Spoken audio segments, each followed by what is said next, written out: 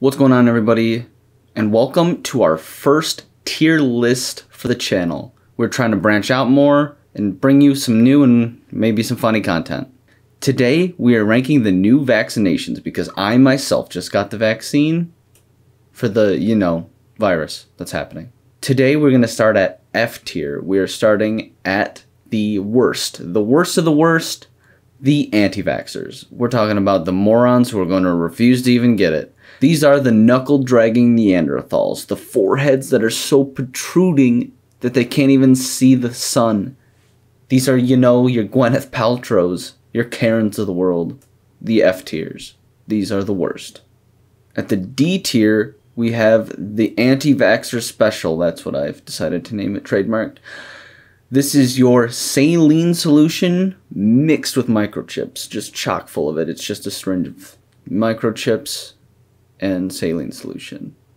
Not really going to do anything against the virus, but at least you'll be so juiced up on PCB that you'll show up on every GPS for miles. Big Daddy government will always know where you are so you can never get lost. We're going to leave the negatives behind us and we're going to go straight up to B tier, the good. We're talking Johnson and Johnson. The one and done.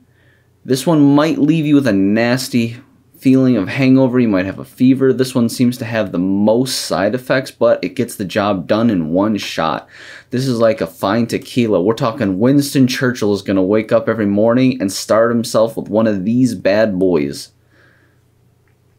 More recommended for, you know, the healthier youths. This one isn't as good as our others, but it's still pretty dang good. At the A list, we have our top shelfers move over Courvoisier, get out of your Hennessy. Lagavulin ain't got nothing, and this is our first tie. We got at the A tier, we got Pfizer and Moderna. Now, I'm not going to show any bias here because I myself received Moderna. But I will say I'm pretty sure I grew an inch. I'm pretty sure I can bench. I can now bench 15 to 20 pounds more, and I am now Emmy nominated. Now, I myself have not received Pfizer, but I know people that have received Pfizer.